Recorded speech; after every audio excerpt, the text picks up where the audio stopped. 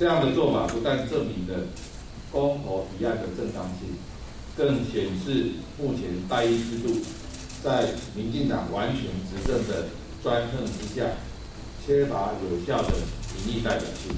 也就是八月二十八日之前，民进党政府的作为，更将决定这一次公投能否成为公民权行使的一个典范，或者只是政治对立的一个延伸。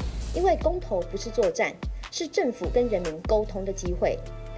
唯一要考虑的是要怎么样说明比较清楚，要怎么样对话比较能够化解疑虑，要把这次的公投视为重要的政策沟通的机会，和民众直接面对面，用最浅白的方式、最清楚的说明，把我们的立场说清楚。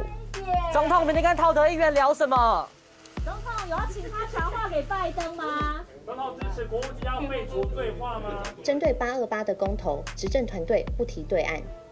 外界有一些讨论，也有主战主和的说法，但是我认为这些讲法并不精确，因为公投不是作战，是政府跟人民沟通的机会。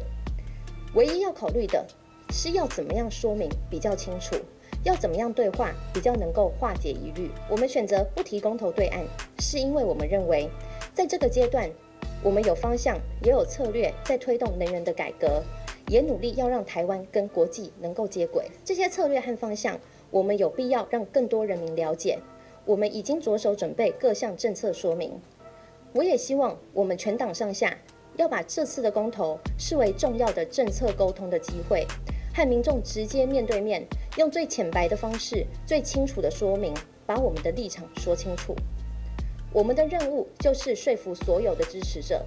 相信我们有永续的规划、长远的布局、细致的策略，我们有能力带领台湾乘风破浪，在重重的挑战中度过一关又一关，落实各项改革。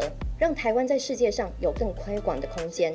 那针对日本政府有宣布说两年后在福岛的第一核电厂废水排放案的这个议题哦，其实不管说是总统府还是行政院都已经很清楚的表示，我们包括说外交部驻日代表处、农委会呃等等相关的部门都多次的向日方表达我们的忧虑。那能原能会他也正式的向日方表达过我们反对的意见。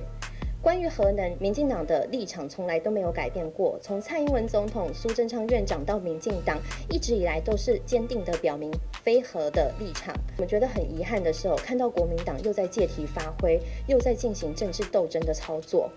民进党在第一时间哦都有反应，但国民党在第一时间哦就是在带风向。